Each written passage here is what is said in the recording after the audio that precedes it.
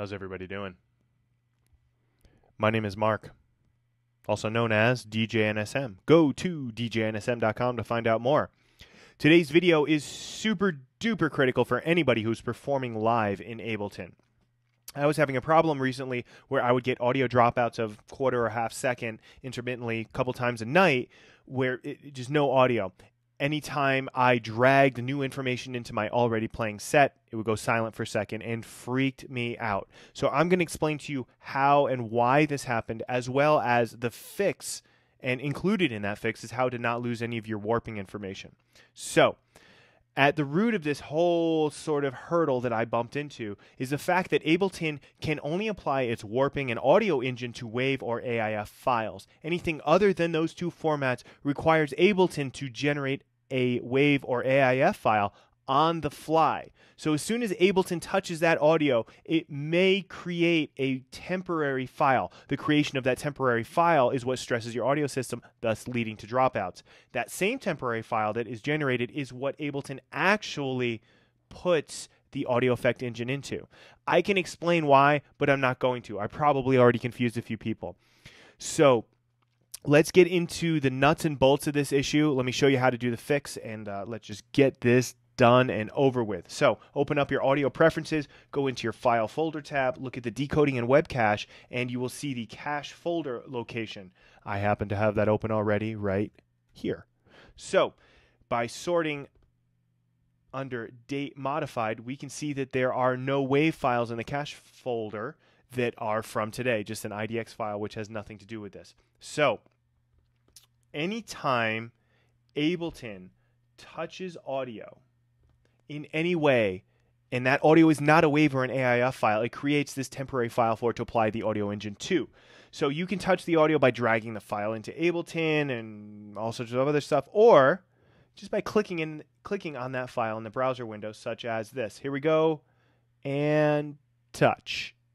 And we can see that there's a little WAV file status bar that's loading down there in the bottom and that is applying the warping markers and, and manipulating the audio and in this case generating a wave file on the fly.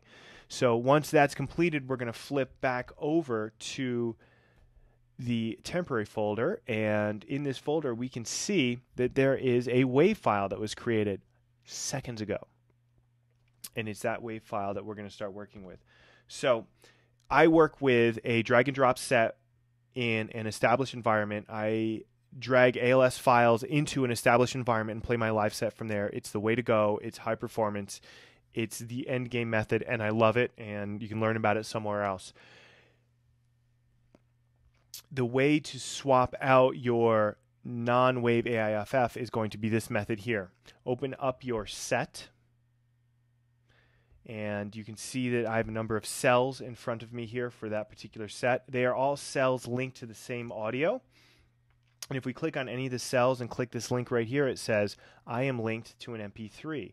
And we click on another cell and it is linked to the same MP3. We want to get rid of that MP3 and swap it for a WAV file. So the best place to find that WAV file to swap it is, surprisingly enough, in the cache folder that Ableton created. So let's grab that WAV file and drag that into the exact same folder.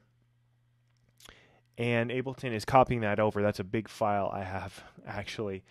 And we're going to use that to swap. Next in Ableton, what we are going to do is open up File and the Manage Files setting.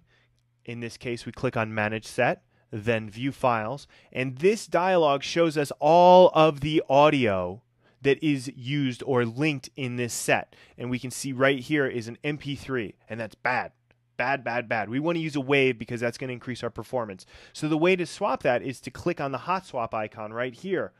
Boom, you go orange. We love orange. Orange is great stuff.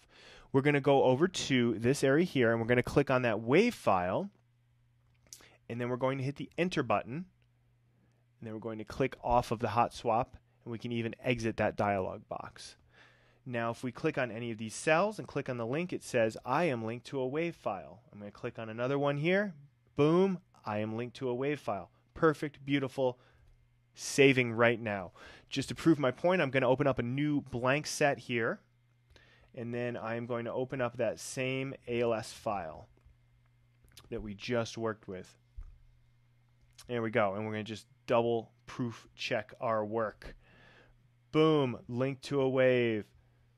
Boom, link to a wave. And here's the great part all of the warp markers are still there. All of our settings have stayed stable. We are done. Rewind this video, learn how to do this. If at all possible, work with wave files from the start because it's the way to go and it's more efficient for the Ableton engine. I know that because I am a performance freak. One final note I don't want to get into any conversation about how I should not be using MP3s or M4As. They are part of the environment. I know very well that their sound quality is diminished compared to WAV files, but they are part of life. A lot of audio I use, I can't even find in a WAV file. And most of the sound systems I play through live, it doesn't matter anyway because the noise floor and the quality of those speaker systems is so low. The difference between an MP3 and a WAV file is inaudible. And then the final reason it doesn't really matter to me in live performance is because as long as there's a good beat and some good bass and a good tune and you're not crashing, the crowd's going to be happy. So, with that said, we're moving on, we're closing out, we're having fun. Remember how to do this and remember to work with WAV files from the start to increase your performance and keep things more stable over the long haul. My name is Mark. I run the Colorado Ableton user group. My personal website is djnsm.com and I encourage you to kick ass. Thank you.